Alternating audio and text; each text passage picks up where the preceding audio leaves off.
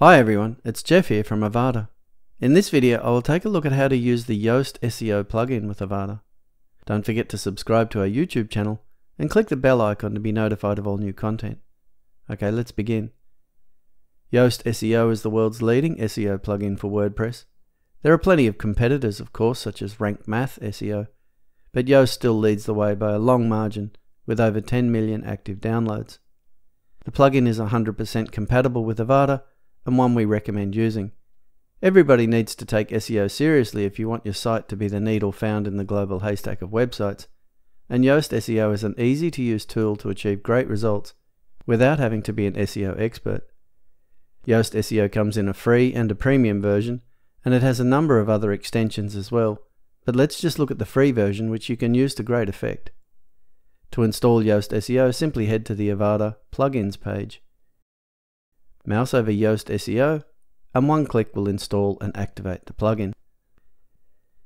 This places the Yoast SEO link in the dashboard menu and the Yoast SEO panel on all pages, posts, and custom post types. The plugin displays a success notice and directs you to start the first time configuration. Let's look at that, as that takes you through setting up important SEO options site wide. The first step is running the SEO data optimization. When this is done, it moves on to site representation where you answer a few questions about your site. The next step is for adding your social profiles, which allows Yoast to fine tune the metadata for these platforms. Then there are some personal preferences about data and privacy, and that's it. Okay, let's have a quick look at the plugin options. Even the free version of Yoast is fully featured with many options and settings. I'll just start on the dashboard on the General tab there's some info here and an alert center, and the link to the first time configuration we just looked at. Apart from this tab, there is a settings tab with a large range of settings for the site and the various content types. There are features you can enable or disable, and there are a wide range of options. There's an integration tab for various plugins, a tools tab, an academy tab to learn more about SEO, an upgrades tab, and a support tab with links to additional resources. As you can see, there is a lot you can do in this plugin simply in the settings and configuration. For more details on how to set up and use Yoast SEO fully, please refer to the Yoast documentation. But for the purposes of this video, let's look at the main function of this plugin and how it is used to help improve the rankings of a post or page in the SERPs, the search engine result pages. I'll just go to a post and edit it. Currently, to work on the SEO of a post, you need to use the backend builder. At the bottom of the page, under the editor and other panels, is the Yoast SEO panel. With the help of this very easy to use interface, you fine tune your content to improve its SEO. To rank your content, Yoast uses a very simple traffic light system of red, amber, and green, where green means your content will have the best chance of ranking well. So let's take this post as an example. The first thing to do is to add a focus key phrase. This is basically what people might search for in a search engine that you want to be found for. The plugin then evaluates the page's content and provides feedback on how to improve the content for that particular focus key phrase. If you're unsure of what focus key phrase to use, click the question mark next to focus key phrase for a good explanation on the Yoast blog. I'll just use the title of the post. The feedback then comes in the form of the SEO analysis results, a list of points integral to good SEO. Let's just open that and have a look. As you can see, it lists points under the problem, improvements, and good results category. And by looking at these results and implementing the recommendations in each one, your number of green items increases, and at some point the collective ranking for the post or the page will turn green. Okay, so currently my example post is amber and ranked OK.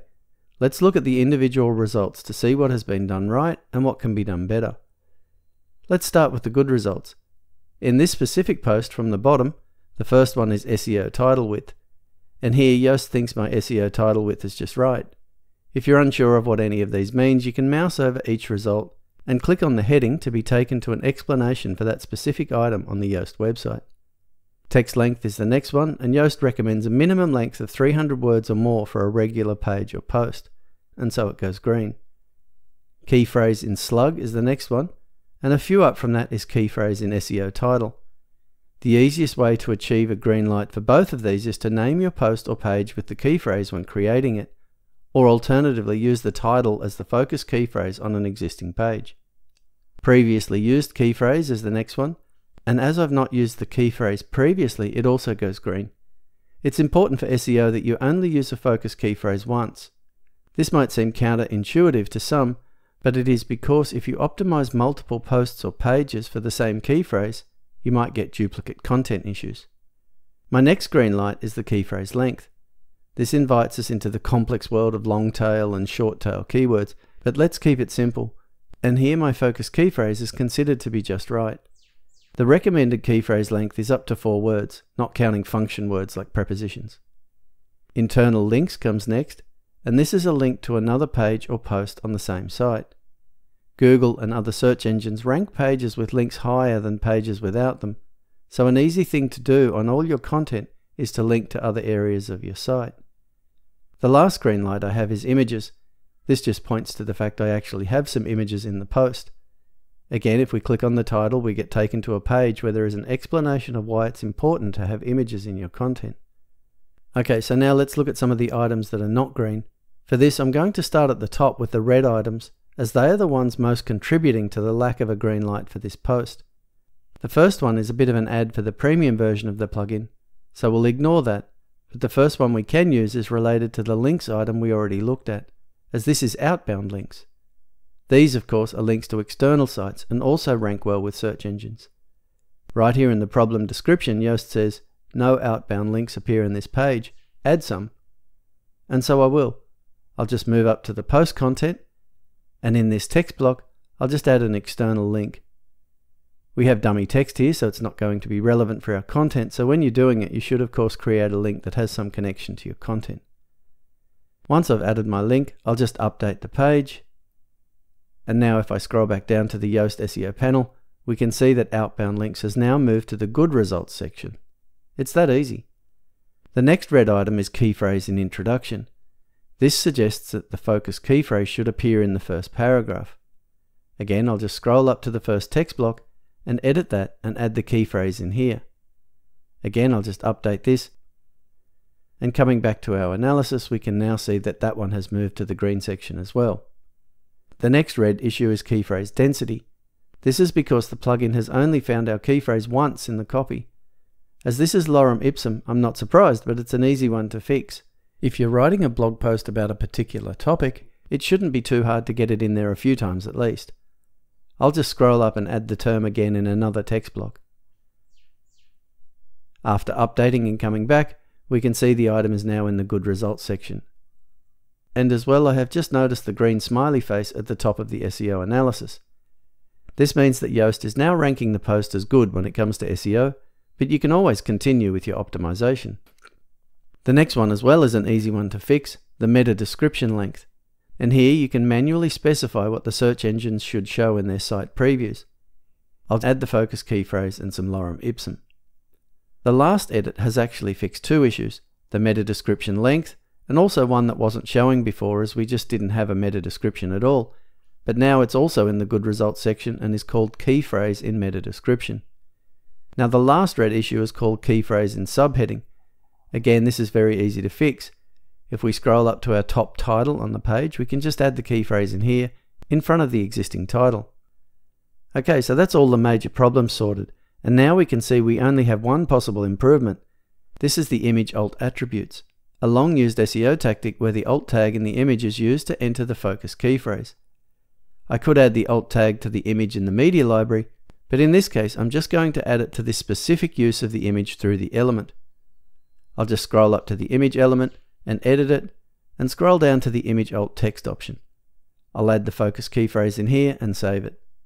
So now we can see our page is ranked green, and we have a clean slate when it comes to SEO issues.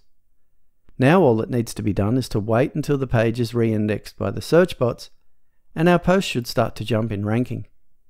Obviously, the success of this will also depend on the popularity of the key phrase and lots of other search engine secret sauce.